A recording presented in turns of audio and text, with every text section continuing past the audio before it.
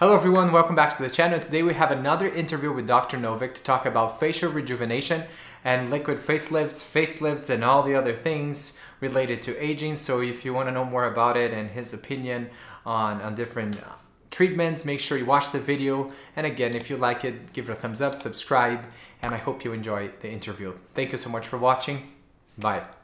Hello everyone, welcome back. And today we have uh, Dr. Novick back to talk about uh, facial rejuvenation. Uh, thank you so much again, uh, Dr. Novick, for joining and sharing more mm-hmm. uh, of your knowledge uh, with us. So I really appreciate it. It's my pleasure. Let's jump right in. And I already have the first question uh, regarding facial rejuvenation. And if you could explain to us what are liquid facelifts and why um, they're so important and, and growing today. Yeah, liquid facelifts are basically like a, a term that that people use. You know, it's a consumer term for for a non-surgical approach whereby you're not using any cutting or stitches. You're basically doing something non-surgically using injectables, which usually, which typically come in liquid form. And so that's that's the common term now is a liquid facelift. Perfect. And and we have the liquid ones and uh but actually the, the second one that I wanted to ask it uh, just let's just follow what we what we talked previously was what really happens when we age? Because we we look for rejuvenation as we we get older right? So what what is actually happening to the skin as we age? Yeah that's the that's the critical that's the critical issue of why liquid facelifts non-surgical facelifts play such an amazing role because it was only in the past 15 plus years that we really understood the anatomy of what's going on with aging. So we basically did a complete turnaround in our approach to what anti aging is. So, first, we have to know what happens when we age. Okay, there you have to imagine that the imagine that the tissues of the face are really more than one layer. There's the outer layer, the fabric of the skin, that's what we see on the outside. But we have all the tissues underneath, which are the supportive framework of the face. So imagine that the skin is like the is like a building, a house, but the foundation of the house is underneath, and that foundation is critical. Mm-hmm. So what happens basically to that foundation is something that we learned only in the past about uh, 15 or so years when we started to study it actively. Okay, so we have underneath our skin, we have we have a series of fat pads. We have fat pads in the cheeks, along the jawline, in the temple area. We have muscle underneath, and we have bone. Those are the, and we have ligaments, which are fibrous bands, which hold you know which hold the the layers in in, in proper position. Okay, so what happens is we as we age uh, is that the fat pads in particular shrink and shrivel with time. The bone, we have bone loss in the cheeks, around the orbits, around the jaw, and we have some loss in muscle mass as well. Now, think about this. We have this fabric of skin sitting over these massive tissues I've just mentioned. And everything is hunky dory while a person is, is uh, you know, young. Everything's in its pro- appropriate place. Now let's let's take just one of the many fat pads in, in the face and let's discuss what happens. There's a very critical fat pad which starts at the bony portion that I'm pointing to of the face and sort of swings down in a kind of like lamb chop style shape or, or triangular shape into the cheek. Now imagine now everything is fine and hold, it's holding things up, you know, in, in youth. Now as a person passes 30, 35, 40, 45, that fat, just that fat fat, let's concentrate, shrinks and shrivels. So it becomes much thinner and much weaker. Mm-hmm. And as a result of that, gravity now can grab a hold of that, of the remnant of that fat pad, and it's pulled downward and inward.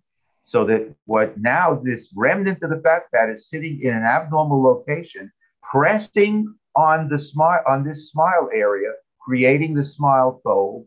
There's a pressure somewhat downward, helping to contribute to the marionette line, the howdy doody line. and there's a pressure straight downward, which leads to that the jowl along the jawline. So now, if you add to it that there's there can be bone loss in the cheek area, as well as some fat, uh, as, as well as some muscular loss, this downward and inward pressure in this area becomes even more accentuated.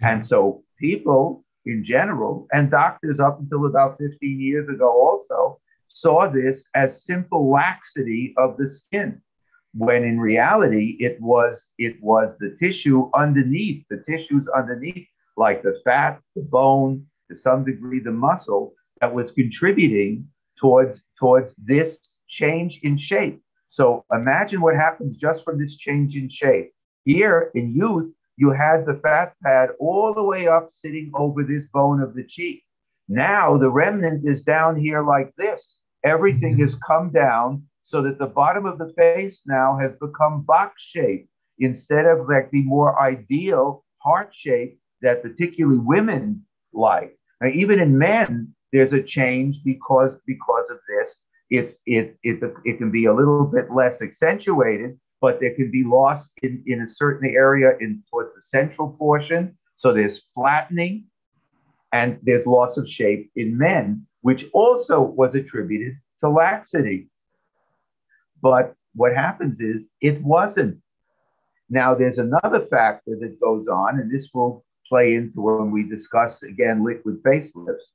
Um, the, the muscles of facial expression, for reasons which are not completely explained at, even now, because and opposed to any other voluntary muscles of the body, which we know become more lax and you know, as you get older, you have to exercise more and everything.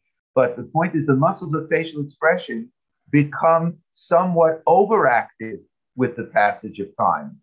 So now picture this, this scenario. The muscles of the face are becoming more, more hyperactive with, with age. So that when you were five years old and you smiled, you smiled and you went back to normal when you stopped smiling. But now, as a person ages, when they when the muscle when the muscle contracts, it contracts even more vigorously than it did when you the, the person was much younger, and it goes boom like this. It tightens, and this happens at a time when in the fabric of the skin, the actual skin that you see, has lo- has has lost its the quantity and quality of the collagen and elastic fibers and dermal matrix. Mm-hmm. And it's lost it because 90% of the time from excessive chronic sun exposure, and 10% of the time from genetics, from gravity, uh, from the way you sleep lines. But what happens is the fabric of the skin has been damaged where the quality and the quantity of the collagen elastic fibers and, and the matrix, the, gelatin matrix that holds those fibers has, has diminished and has become less functional, less hydrated. Now the person smiles but the muscles are now overactive, and the counter force provided by the fabric of the skin is so much less, so that when we smile hard, we get crow's feet on the side. When we scowl down and frown at somebody, we get deep 11 lines. When we raise up our eyebrows, we get we get the, the horizontal worry line. Now think about this. When you do that. See, wait, if you, if, you take a flat piece of paper, you know, piece of uh, a regular piece of printing paper that has no lines on it, no crinkles, and you just fold it just once really well, and you open it up, everybody knows there's going to be a crease mark on that on that white page. Even if you went over it with a hot iron, it would still show that crease mark. Yeah. Now imagine what happens to a person's face when they make those creases, those expressions, those those movement expressions, a thousand, two thousand times a day on fabric, which is no longer, which has been, which has been sun beaten, or chronologically aged, or sleep line, and they're folding it a thousand to two thousand times a day. That when you open it up, they now have crow's feet when they're not smiling. They have worry lines when they're not raising their eyebrows and they and they have and they have a, they have 11 lines without scowling So you have crow's feet, worries lines, 11 lines, all sitting there at rest. Correct. So here's where here's where you know here's where liquid facelifts come in. Come in. But Yes. before we do before we do that, I think there's another question that you had mentioned to me that you wanted to ask. Yes, uh, I wanted to ask because we know that uh, the liquid ones are, are uh, uh, an interesting role, but we often see. I've never done any surgical chirurgical ones, but what about the the non-liquid, the surgical ones? Why are they not often uh, the the right case? Uh, uh, something that has changed over the years, right? We don't see a lot of people. Okay. That's a fabulous question. Why are surgical face facelifts so often not the correct answer? The reason is very simple. What happens is when when when medical science misperceived the problem of facial aging as just being like sagging and laxity, Mhm. they thought, well, sagging and laxity, the way to, to improve it is to stretch it, to pull it. So what they did is they went like this, boom, and they created faces that look what we call skeletonized, which means it looked like skin pulled over bone. And the, what happens is the skin didn't have really didn't have any more wrinkles and folds or or you know or or jowls but it did the people didn't look normal. You could literally spot a person on the street and say oh my god he or she they've been done. You know they've been done. And that was like that was like a, almost like a curse to somebody you spend all this fortune of money on a surgical facelift to walk down the street and somebody said oh he's been done she's been done I Yeah. mean, that was that was the killer phrase. Now, why was that wrong? Based on what we learned that 15 or so years ago about what I explained before about the what's going on to the infrastructure of the skin, what we were essentially doing was we didn't understand that there was the loss of volume underneath the fabric of the skin. And we were simply taking the fabric of the skin and pulling it. And then what happens is this was a major operation. I mean, this was an expensive, it remains an expensive, aggressive operation that requires, uh, you know, a, a couple weeks of downtime and at least six months to see any kind of real results until the, the until all the edema, the tissue fluid resolves, the bruising goes away. This was not a, a small consideration. And also the fact that a person is left with scars for the rest of his or her life because the, the, even though they attempt to hide them in the hairline and behind the ear, they're nonetheless, if you see it, you see the scars all the way around. And so there can be effects of the scars. There are all kinds of complications of scarring. So this was not a small step to take. But why was it wrong in the why was it wrong so often in the first place? You know, had we known then what we know today, you know, what what is it that that, that changed? What changed is the following. I often use this example with, my patients, and that is imagine you have a beautiful, you have a beautiful dining room table, and it takes three leaves to extend the, the, the table to its full length. And you really want to show it off to the guests at it, you know, at its best. So you get this gorgeous tablecloth to fit the extended table, and it, and this gorgeous tablecloth fits just so. It hangs it hangs halfway around to the to the carpet all the way around and it looks absolutely beautiful and the guests are floored by it. Now the guests leave and what do you do? You go and you take the three leaves of the out of out of the table and now when you put you put the table together and all of a sudden that beautifully fitted tablecloth is now hanging on the floor all the way around Mhm. what do you do? Take a scissor and walk around the tablecloth and cut it halfway down? Or do you simply put the leaves back into the table so the table can be restored to its prior magnificence? So that's what we were doing wrong. What we, by misperceiving when we saw all the hanging in the jowls and not understanding that it was a, it was a matter of volume loss underneath in the fat layer in particular in loss of bone in loss of in loss of, of some muscular you know uh, uh, uh, muscular tissue and we didn't understand that so what we did is we essentially we didn't understand that the leaves of the table had been taken out. So we took a scissor and we went around and we cut around we cut around the tablecloth and ruined it. Mm-hmm. And that's why that's why it was not the the correct. It, it is so often not the correct answer because it doesn't address the basic problem of volume loss with aging. It doesn't. It's it simply just is a trimming action to make the tablecloth fit fit without its sleeves inside. So once we realized that it was a matter of restoring volume, that we could do easily with the various fillers that we were developing all along. Now, we were developing fillers to chase after wrinkles, but when we realized that volume was, was such a critical factor in the, in the cause of this of the of the aging process, the aging appearance process, we began to de- manufacture fillers that were more robust, that provided volume and lifting, and was specifically for augmenting this loss and replacing the volume deficit. Then, and it, they were not simply just to chase after a little line or a little wrinkle.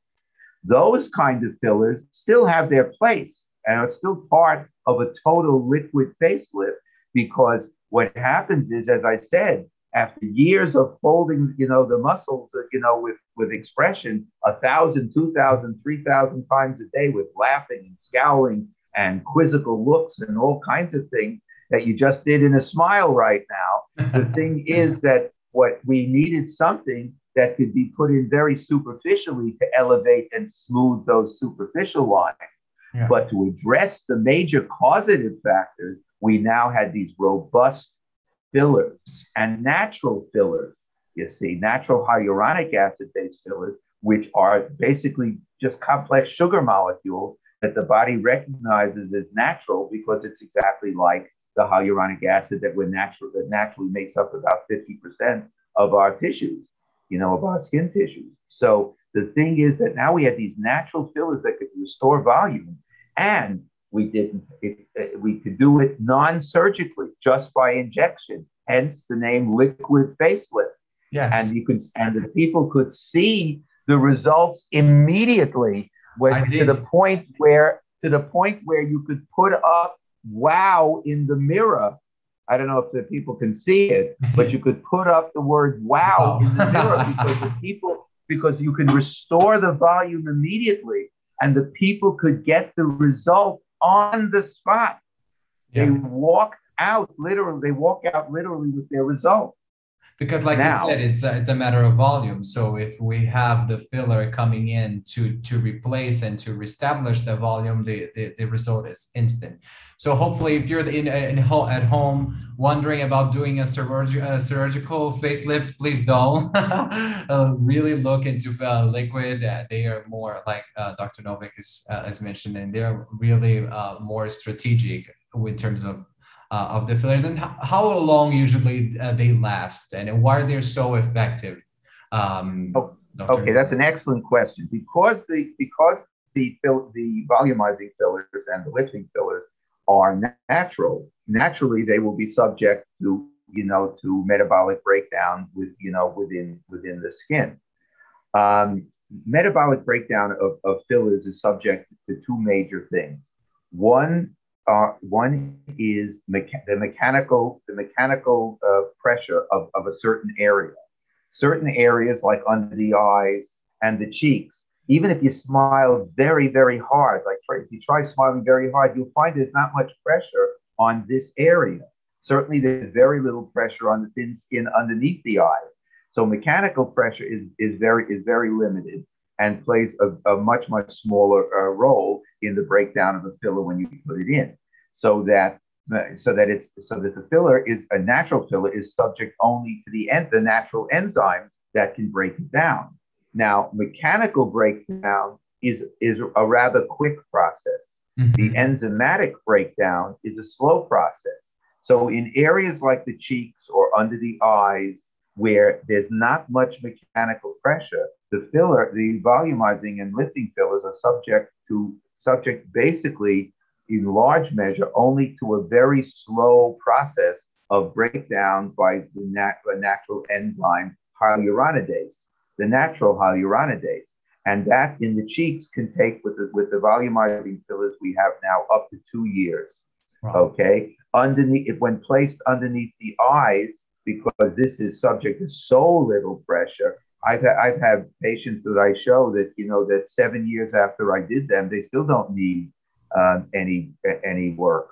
Um, so the that's thing is lot, that time. That's great. That's a lot of time. So, but on but you know, for people who don't aren't outside the bell curve, it would not be unreasonable to say three years for underneath the eyes. Mm-hmm. So each individual area that's treated has its own. The chin, for example, if you need if you needed a chin augmentation with with a volumizing filler, um, is that can be that can be about a year and a half.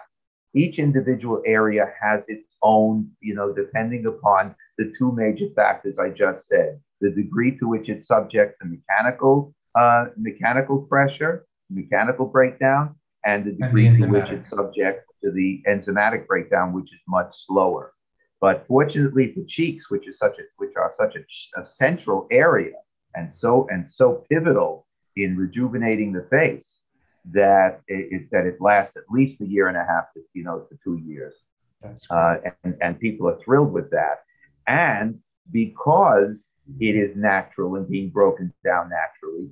The underlying changes, which are still going on in bone and muscle and fat tissue, every a year and a half or two years, you now can adjust the amounts and the positions to fit how the person is aging to do it best. It's not like a one size fits all. Well, let's cut them and do it, and then that's the way they're stuck for the rest of the the you life, know, yeah. And the un- the other unfortunate thing was about surgical facelifts that I failed to mention is that while people are often told that they last, you know, for you know up to ten years, most people are really lucky if they if they see the effects even of that for about three to five years at most. Wow.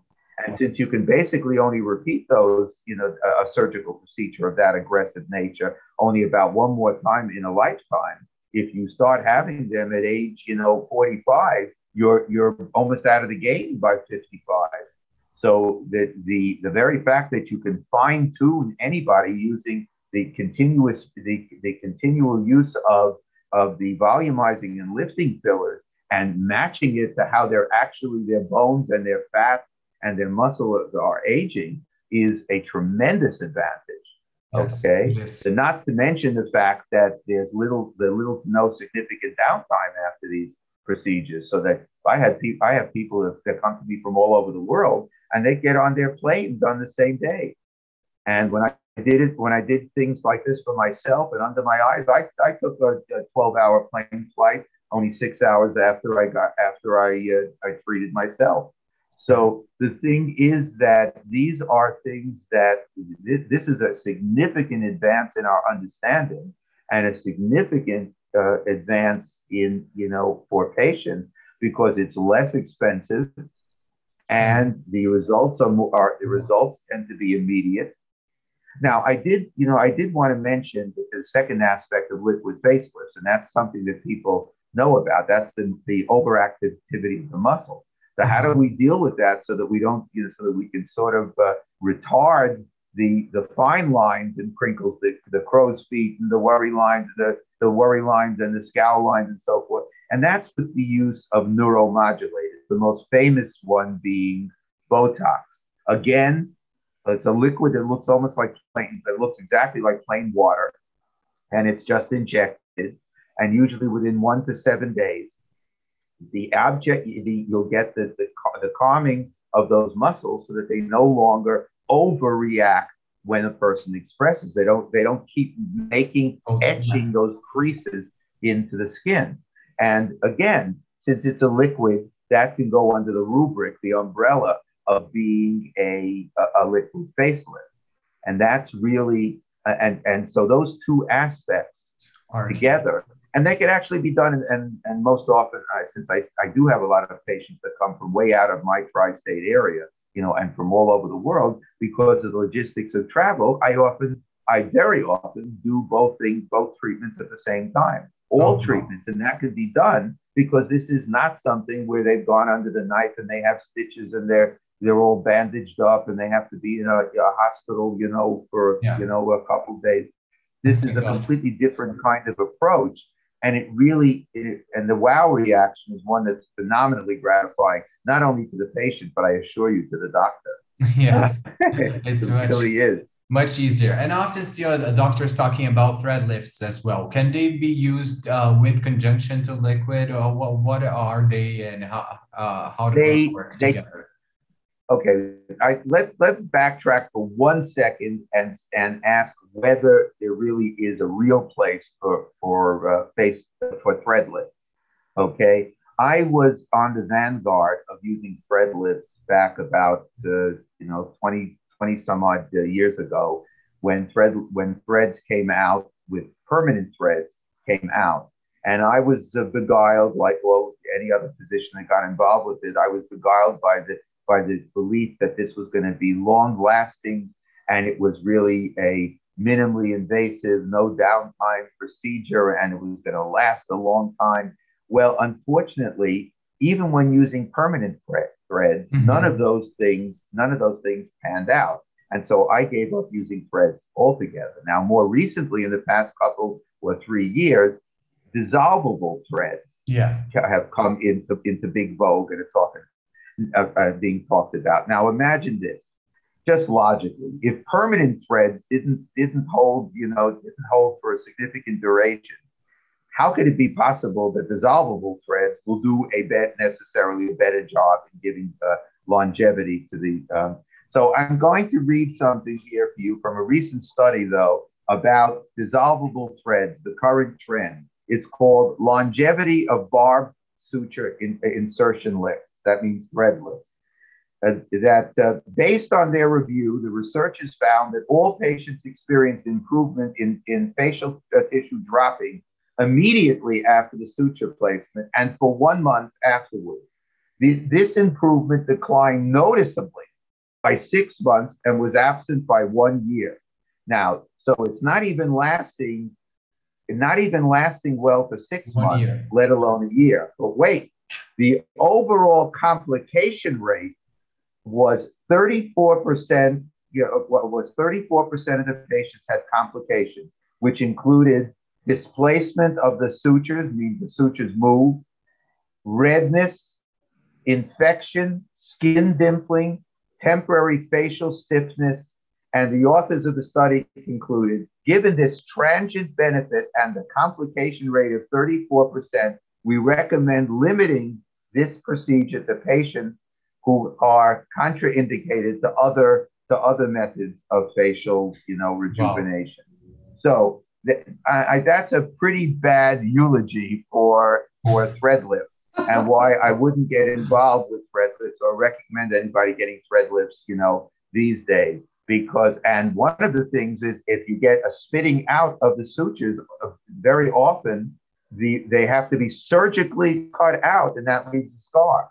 Hmm. So Wow. it's not a logical thing, especially not in the day when we have we have volumizing and, and robust volumizing and lifting fillers, which are doing that, which are natural, and do their job underneath where Yes. they're where they're supposed to be doing it. And again, conceptually, thread lifting does not address the volume loss. It was a, it's again, even with all its negatives, it rationally is not even the proper approach because again, it's all do, it's doing a pulling routine and it's really volumizing and lifting that's needed in, in the overwhelming majority of cases.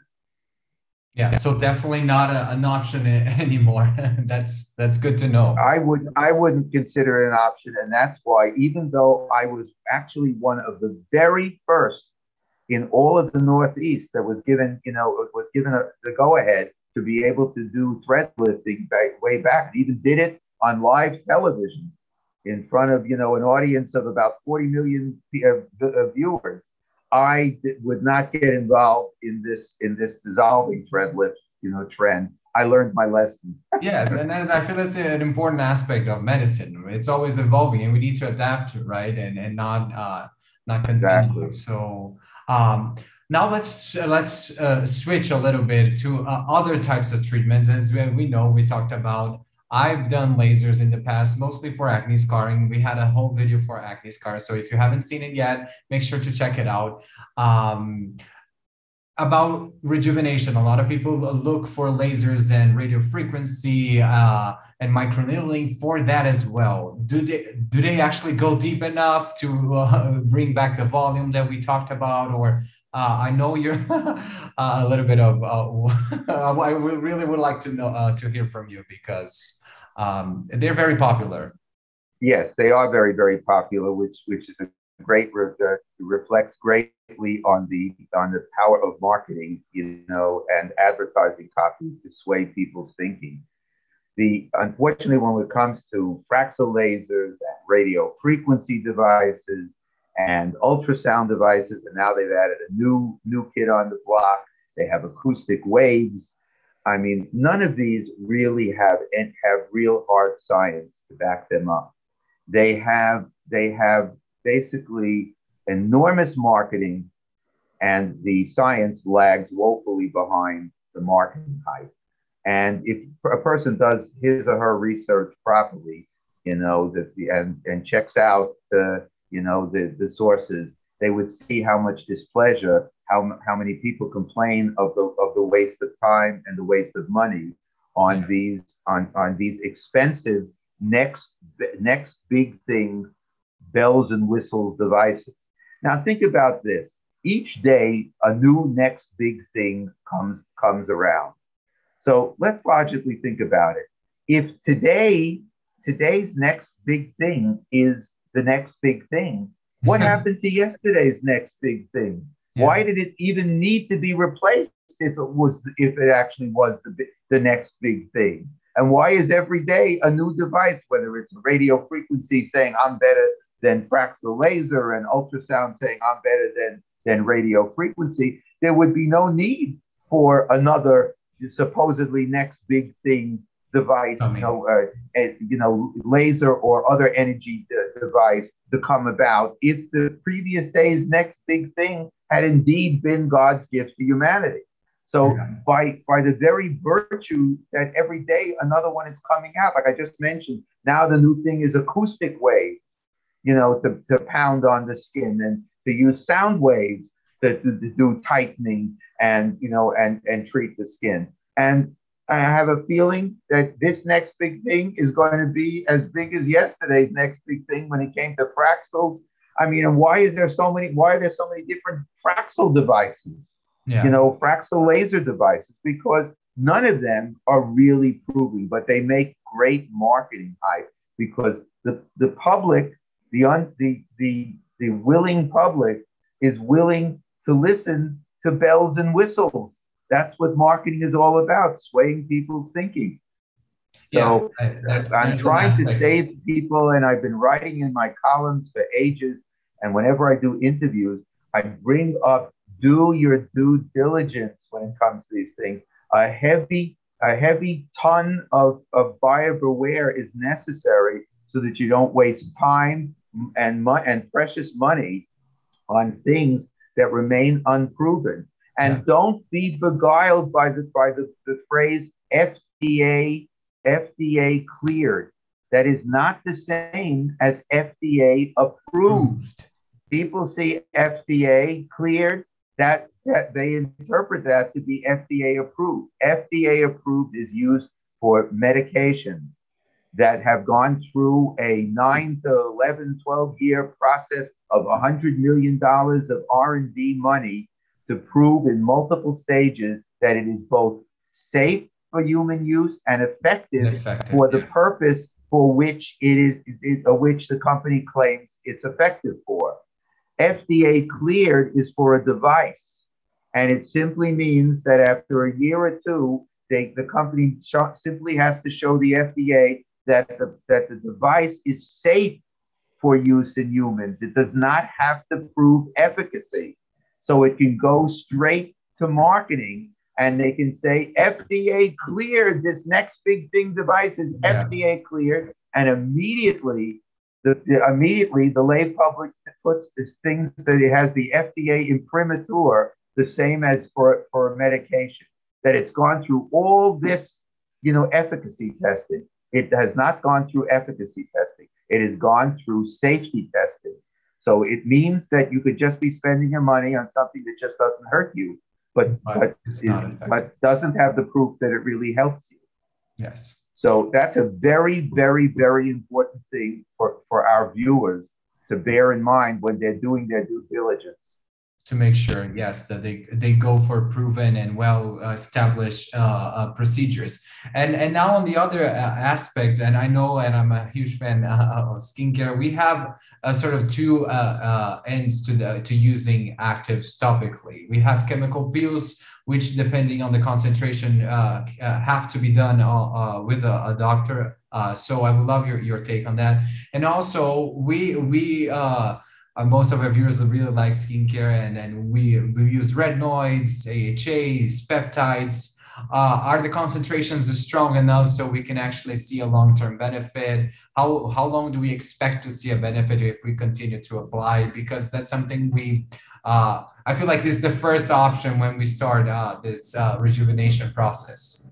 Right, you're absolutely you're absolutely correct. So let, us start with first what you know what the if, if there's a role for in, in facial rejuvenation for chemical peels and let's say professional microneedling.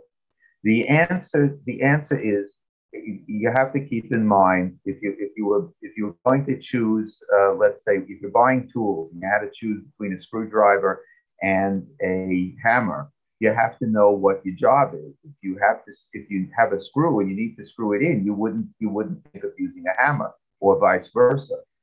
And so the thing is that you have to understand what you know. Let's let's take micro micro needling. I love professional micro needling. I don't mean the home variety where the, the needles are not long enough and it's not done with a certain level of, of the appropriate level of, of professional aggressivity to get the job done microneedling is is for the purpose of if, if you have problems with the superficial part of the fabric of the skin, like sunspots and sun damage and roughness of the skin and little irregularities of the skin and very, very fine crinkling of the skin, that's an appropriate use. If you have volume, if you have a volume underneath being the cause of jowls and laxity and smile folds and marionette lines, it will do absolutely nothing for okay. you. So it would be like asking the hammer to screw in the screw. if you have a nail, the hammer is a good thing to hammer it in, you know, and you wouldn't think of using a screwdriver to do that job. And to ask professional micro needling, even professionally done, which is the which is the best way to have it done, having a, a professional, a physician or a very trained, experienced professional doing aggressive micro needling. It's for the superficial fabric with color and textural irregularity. Now, when it comes to chemical peels, chemical peels, deep chemical peels, which I have to add are done very, very, very, very rarely these days, they can tighten the skin much the way that, that manual dermabrasion or, or, or, or device-driven uh, dermabrasion did years ago. Mm-hmm. Yes, it can be a skin tightener, and that can tighten somewhat in, in the idea again of tightening the skin rather than replenishing volume. So you can see a, a, effect, and it certainly will give you an effect on superficial wrinkles and crinkles and crepiness. But they are dangerous insofar as they can lead to scarring. They have a downtime about as long as surgery. If, if it's a deep, a deep peel, like a deep phenol peel, yeah. phenylcroton peel, those they can they have to be monitored for heart abnormalities during the procedure. Two week recovery time. You know, if this is a significant, this is equivalent basically to a surgical recuperation. Okay, and but and afterwards, all you're going to get is that tightening, pulling of the skin.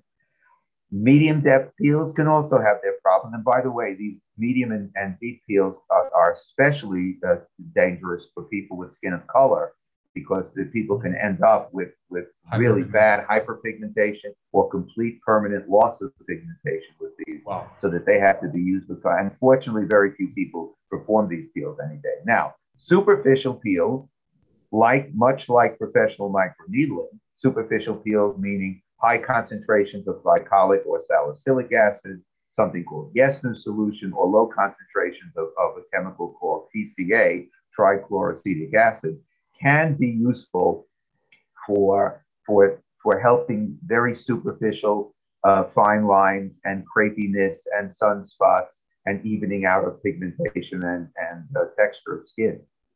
But it won't do anything for replacing volume. And so therefore, it's it's only it can be done as an adjunct to the other things that we discussed if it's necessary.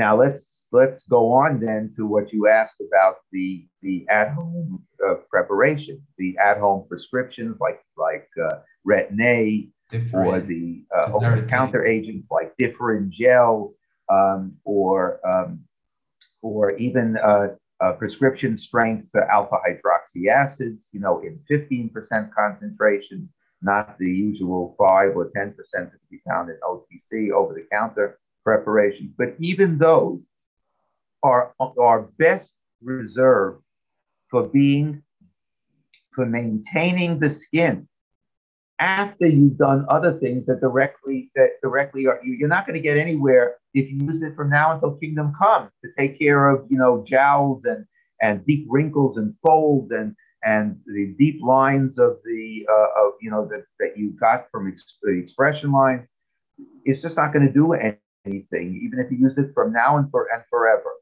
but if you had these other you know liquid facelifts and the neuromodulators like botox etc. And you've now been corrected. You want to have some way of helping to maintain and prolong the results you've gotten. That would be the place of the religious use of, of these preparations, and usually in combination.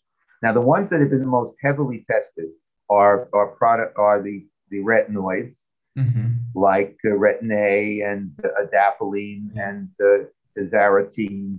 These are these Tazorac these are these have been heavily tested and they have real science and they have gotten their FDA approval approval.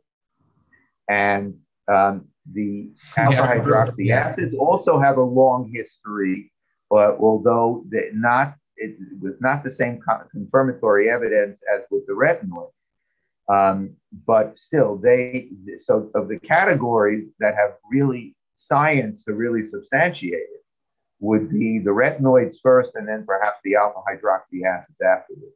All the other new bells and whistles like growth factors and proteins and muscle, you know, acting, uh, you know, peptides.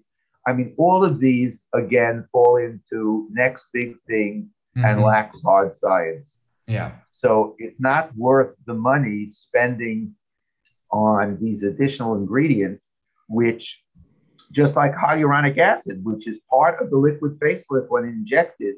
So yeah. now they market it as part of your moisturizer. Like, why go for the injections if you can get the moisturizer? yeah, well, I'll tell you why.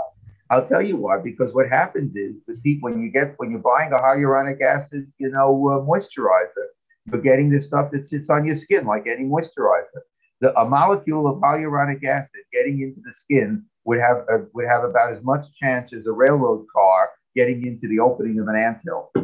So, you know, the thing is, it sits on your skin. You're paying extra for all these extra ingredients, but they remain unproven and unsubstantiated largely. Yeah. I mean, the science is not is not there. I mean, the jury is certainly out on those on those preparations. So stick with what's been with what has has actually been tested: retinoids, and particularly the prescrip- prescription strength retinoids, and also alpha hydroxy acids. And those can help to maintain the, uh, the skin. Now, they're best used under the care of a physician because they are medications and they can yeah. have effects on people that have other conditions that may not be aware of it and they can get they can run into all kinds of problems if they're self-prescribing but that would that would actually apply to most anybody taking you know medications you know unsupervised I mean, you can run into all kinds of problems. So, but once you get on the regimen, it would be for a maintenance regimen best to maintain the benefits that you get more dramatically by the other aspects of a liquid facelift. Combining them both is definitely uh, the strategic and, and optimal uh, uh, route. So absolutely, it's it's the way it's the way to maximize your investment. It's the best way so far to maximize your investment. You yeah. see, you're investing in your skin, and since there are two aspects, as I said, to the skin, all the volume aspects below and the fabric of the skin outside. So if you if you treat the volume and the lifting issues, then you want to also treat the skin, and that can be done with you know that could be done in the ways that we said. Superficial chemical peels have been proven safe. Uh, at home uh, treatments, at home you know cream, prescription cream, particularly with alpha hydroxy acids and retinoids. That's the way to go. Um, but at least if there's any one take home message that I would like our viewers, you know, to, to come away with, and that is that, you know, because everybody thinks, you know, when they think of, when they see jowls and everything, the old thinking, older than a 15 years or so ago, is that, oh, facelift, I need a facelift. And they stand in front of the mirror and they pull the skin like this. And they look, and, and what happens is, as they pull it, they should realize that this is the way they're going to look. They're going to look like something that landed from Mars. And you see, and, and not only that, the promises of how long those things are going to last yeah. are not, they're really not justified. To go through such major surgery with potentials for complication, all kinds of complications. If you think thread lifts have complication rates, think of what a sur- an aggressive surgical facelift, where they're basically lifting your skin off your flesh underneath and then trimming it off the way you would be trimming off the that tablecloth example that I gave you earlier. I mean, this is this is something that in this day and age, when we have when we have a non-surgical quotes liquid facelift approach to rejuvenating the the face, and it, it seems like the rational the rational way to go. The other thing is that we we have learned since that the earlier one starts these interventions, the, the less likely they're going to ever need aggressive kinds of interventions later on and the slower that the, it retards the rate of, of deterioration as well. So now we've added another term to this. We call when you start early, it's called prejuvenation. Wow. Because we are not just rejuvenating, which is sort of like you're trying to get the horse back in the barn, but now we're trying to keep the, the horse in the barn in the first place because it's a lot easier to do that than it is to go chasing after that horse to get him back. Yeah, absolutely. Prevention is, is key. Wow, Dr. Novick, uh, thank you so much. uh, it was, I, I always learn so much with you. Uh, do you, you want to uh, wrap up, say anything else to our viewers? We, I am so grateful to have you. Well, I'd like to, first of all, I'd like to thank you for giving me the opportunity uh, and to give me giving me this venue. I really appreciate that because uh, you know, I've tried over many years, you know, with, with blogs and writing for various sites and everything to try to educate the, the consumer so that they're not sucked in by all the, the advertising and marketing hype, you know, that's out there, which inundates them. And especially, you know, the lay public is vulnerable to this, you know, because they're hurting from what they see in the mirror, what looks back at them in the mirror, and they're and looking they're looking to grab onto any solution but any solution is not is not necessarily the best solution and yeah. there are fortunately simpler simpler ways to achieve things that were not even to be dreamed about 20 30 years ago by by the so-called liquid facelift route Yes, let's see what medicine brings us in the next uh, that are, are going to take us to um, to more optimal and and like you said, backed up by results. Uh, so, Dr. Novick, thank you again for the opportunity for sharing your knowledge with us. Uh, we can ha- uh, wait to have you back. So, thank you so much again. And you're very welcome, and thank, and thank you for this opportunity. Bye bye. Thank you so much for watching, everyone. Bye.